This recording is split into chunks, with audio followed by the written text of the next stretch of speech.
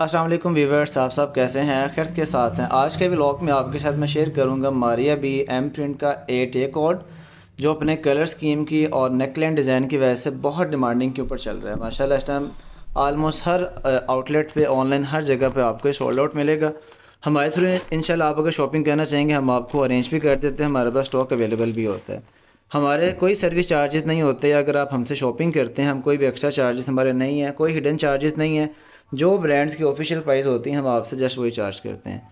इसके अलावा स्टिचिंग का भी हमारे पास कस्टमर है, हम उनको स्टिचिंग भी करके दे रहे हैं। आप भी स्टिचिंग भी करवा सकते हैं विद मॉडल की तरह, जैसे मॉडल की लुकिंग आती है। और स्टिचिंग के लिए आप हमसे रबता कर सकते हैं कॉन्टैक्ट नंबर आपको दिया होता है। तो इन आपके साथ ये फुल ड्रेस का ओवरव्यू करूँगा, ताकि आपको आइडिया हो। अगर ये आप ड्रेस लेने में इंटरेस्टेड हों तो बिफ़ोर बाइंग आपको पता हो। आपसे जस्ट एक ही रिक्वेस्ट होती है कि वीडियो को आप जो है एंड द क्लास में वॉच करें। पहले मैं आपके जो शेयर करूँगा, इसके साथ वो है जिसकी शर्ट और बहुत ही ब्यूटीफुल सा कलर है। डिफरेंट इस दफ़ा हमारी अभी की सारी जो वॉल्यूम आया था इस दफ़ा, बहुत ही हिट इसके सारे आर्टिकल्स थे। तकरीबन सिर्फ़ एक रेड आर्टिकल जो है, वो उसका डिमांड उस सेंस में नहीं आई बट एक्चुअल वो भी लुकिंग में बहुत अच्छा था।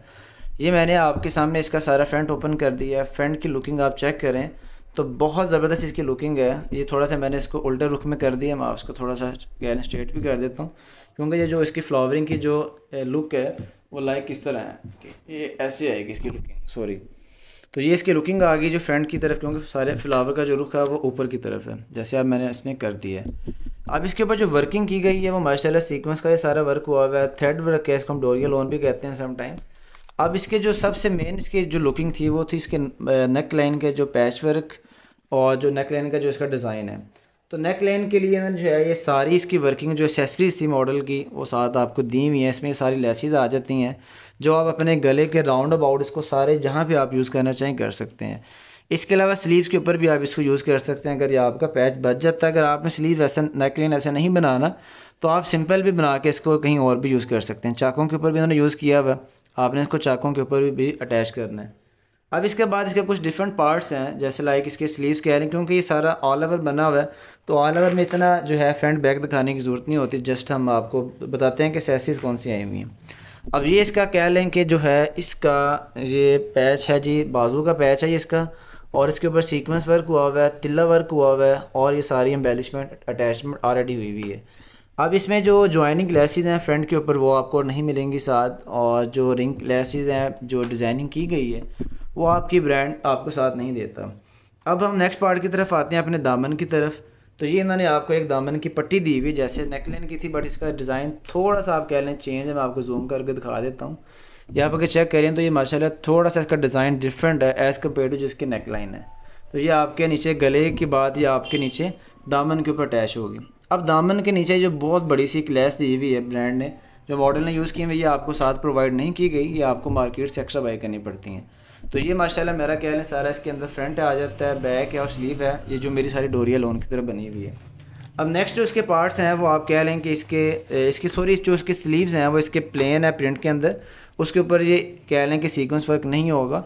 और जो इसका ट्रोज़र है ट्रोज़र इसके बिल्कुल स्लीव्स की तरह है। ये मैंने इसका ट्रोज़र और स्लीव्स आपके सामने अटैच कर दिए हैं। स्लीव्स के ऊपर भी आप हल्की सी लेस लगा सकते हैं अगर आपका दामन से साइड से बच जाता है। और ये पैच वर्क तो आपको ऑलरेडी दिया हुआ है। ये सॉरी इसकी बैक है बाजू जो हैं, वो आपके फ्रंट और आपके जो कढ़ाई वाले बाजू हैं, वो आपके निकलेंगे। ये आपकी बैक है प्लेन क्योंकि अगर सॉरी मैंने, क्योंकि वीडियो देखी नहीं थी पहले तो ये बाजुओं के ऊपर भी डिज़ाइनिंग हुई हुई है जो फ्रंट के ऊपर है।